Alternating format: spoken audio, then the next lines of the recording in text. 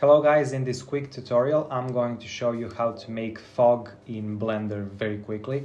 So let's get into it. The first thing, uh, we're gonna delete the cube and we will add an object. Let's use this monkey head. We're gonna click Shift A and add cube, but we're gonna scale it so it covers monkey head. And we're gonna go over here and go to viewport display and display as wire so we can see what's happening inside. We're gonna go over here into rendered mode. And over here, we'll click on shader editor, expand this a bit and click on new. Now, by default, it's gonna open principled uh, BSDF, so we're gonna delete it. And we'll add volume scatter and connect volume to volume. Okay, now already we can see something happening inside, but we're gonna adjust density. This is already too much.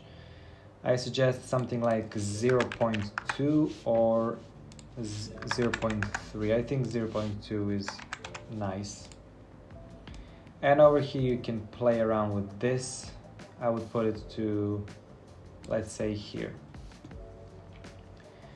Now already we have fog, but I want to add something else. I want to add a new node. So we're going to type noise texture.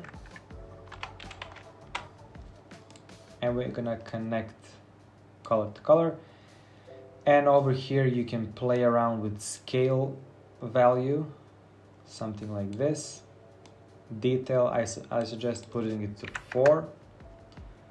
Roughness, again, you can play around with roughness, but I, I like it at 0.5. But yeah, we have something that pretty much looks like a fog in real life.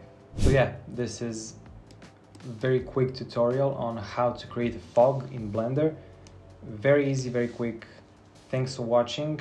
Make sure you subscribe and I'll see you next time. Have a nice day. Bye.